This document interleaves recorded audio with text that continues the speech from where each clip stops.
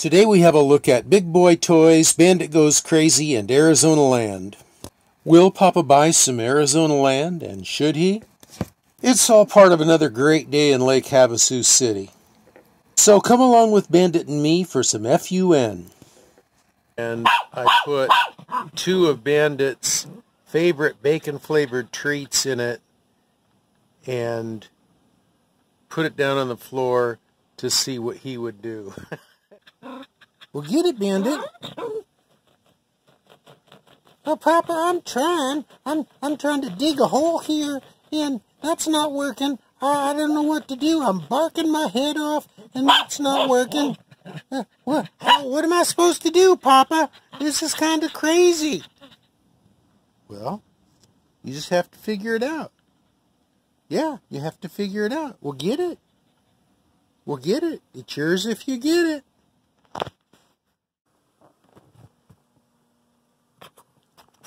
Get it.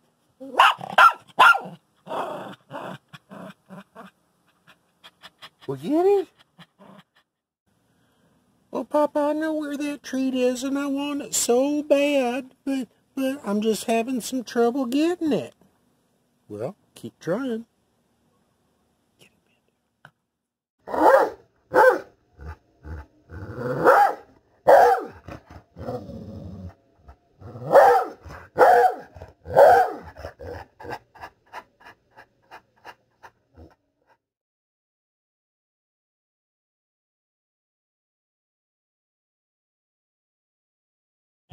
Well, here's uh, an example of problems in the desert.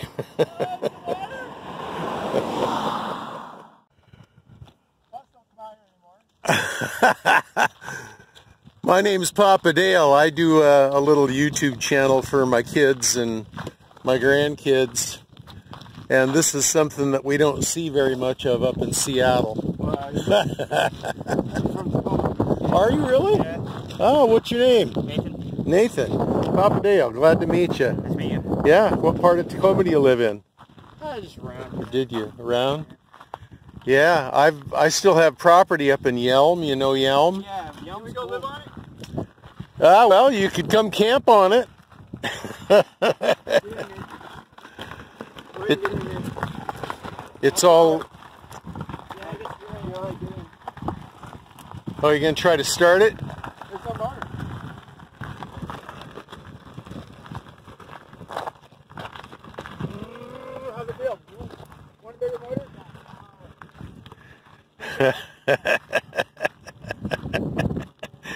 Woohoo!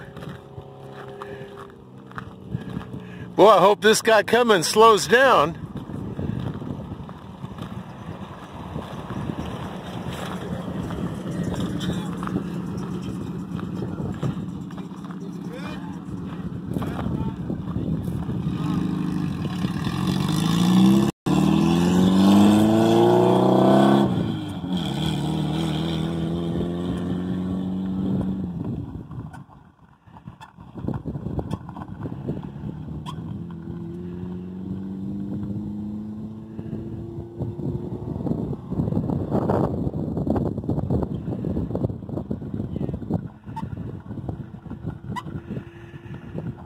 Well, it looks like a lot of fun, but it also looks like a lot of work.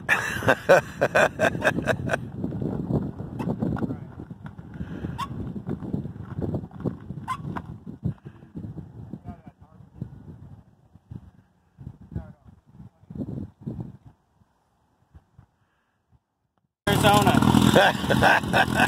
moving, moving from there, somewhere around there. Aha! Get a U-Haul, but, you know. Ah, uh, well, why go to the expense, right? Well, nice to meet you. Yeah, take care.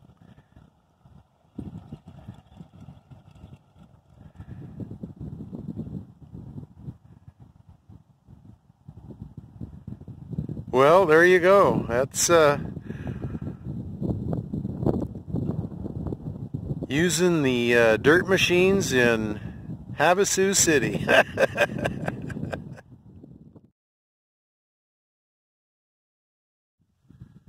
This is a view from the property at Navajo Drive between Kingman and Oatman. It's about 30 minutes from each of those towns and about an hour from uh, Lake Havasu City or Las Vegas.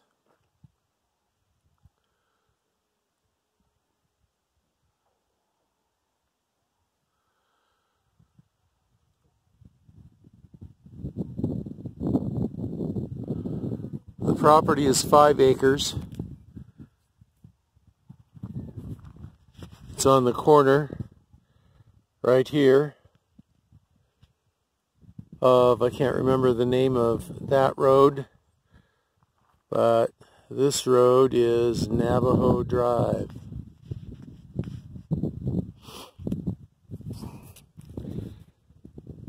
It's uh, uphill about uh,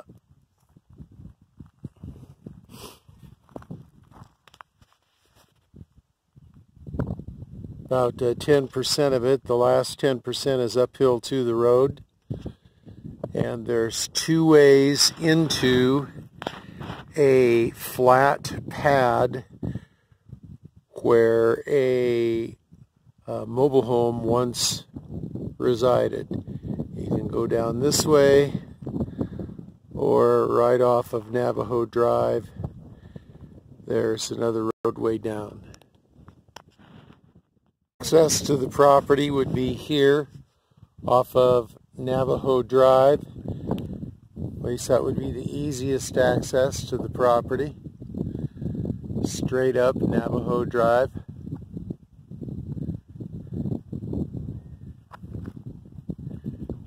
And then straight down into the residential portion. Seeing wash on the neighboring property about uh, 20 yards behind the property line of the property I'm looking at. And uh, it's a pretty significant wash. Imagine in the wintertime it rages pretty good. It's got lots of big boulders and cliffs and such wouldn't really affect the property that I'm looking at though other than it might be an interesting place to come and visit during the monsoon season. Look at uh, look at this section right here for example.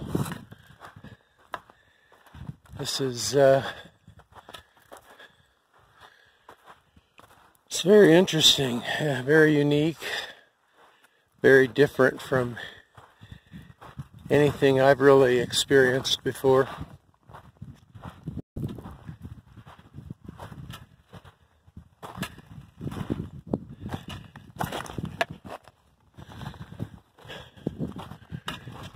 The uh, wild donkeys have been down here.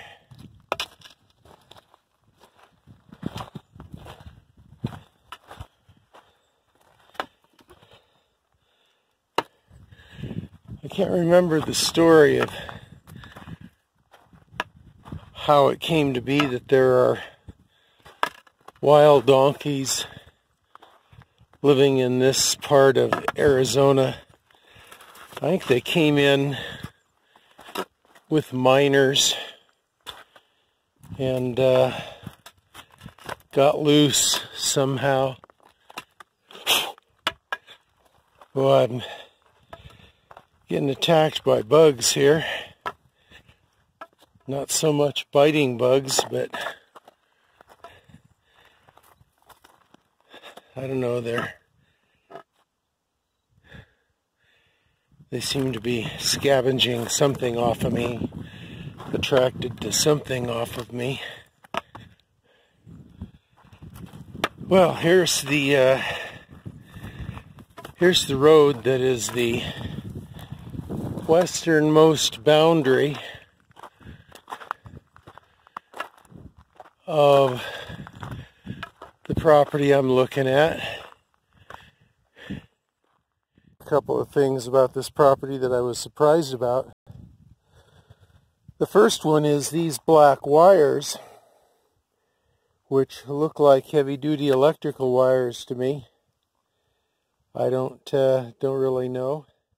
The thing that really surprised me is this. This looks like water to me. And uh, I don't know if they have a well. That information about that didn't make it into the listing. Or, or what. But uh, there's also a concrete slab there that's about three to four inches thick, which uh, may may cover the well. I don't know. But uh, boy, if uh, if those things turn out to be usable, then what a buy for this piece of property, five acres. Yeah, so kind of interested in looking into those things. Ha ha! I found one of the markers on the property I'm looking at. How about that? But I'm not going to walk the whole property again looking for the other three.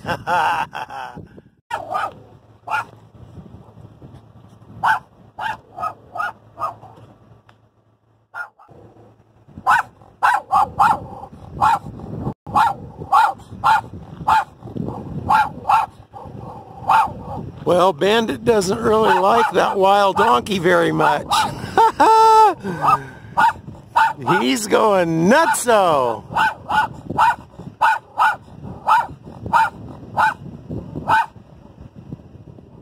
What was that? Huh?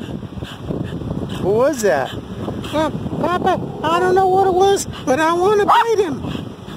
You want to bite him? Yeah, Papa, I want to go bite him. Let me out of here so I can go bite him, Papa. It's a wild donkey. He probably weighs about 12 or 1300 pounds. I don't care, Papa. I'm Bandit the Bad, and I can go get him. No, I don't think so, Bandit. We're not doing that today. Sorry. If you've watched more than one Papa and the Bandit video, isn't it about time you subscribe now? Click the button coming up and the bell to be notified of future videos. Then click one of the cards to check out some of our other videos. Thanks so much for watching. We truly appreciate you. Okay, here come the buttons. Time to click now.